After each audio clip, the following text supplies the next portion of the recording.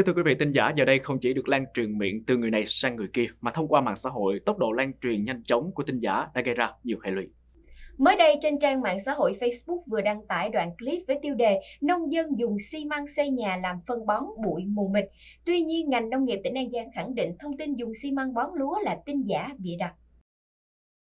Đoạn clip ghi lại cảnh nhóm người dùng nông cụ cơ giới phun một loại bột màu trắng trên đồng ruộng đang trồng lúa. Người trong clip nói, chất bột màu trắng là xi măng trộn với phân lân phun xuống ruộng để giảm phèn. Đoạn clip đã thu hút 1,9 triệu lượt xem với gần 400.000 lượt bình luận và gây xôn xao dư luận.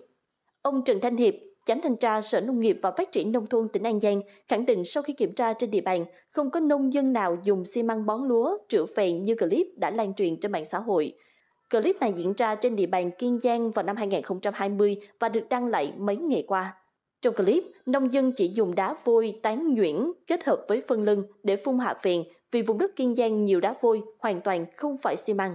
Theo các chuyên gia nông nghiệp, trong canh tác, nếu thấy đất nhiễm phèn nặng hoặc canh tác lâu ngày thì nên trải vôi, bón vôi với liều lượng hợp lý và chỉ bón trong thời gian nhất định, có tác dụng rửa phèn, hạn chế sự phát triển của mầm bệnh, cỏ dại trong đất.